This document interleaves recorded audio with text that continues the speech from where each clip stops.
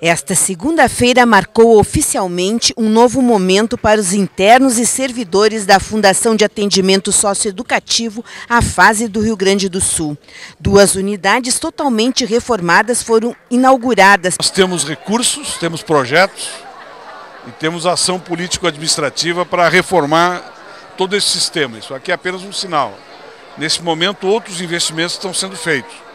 São 13 unidades da fase no estado. Em Santa Maria, Caxias do Sul e Pelotas estão também em obras.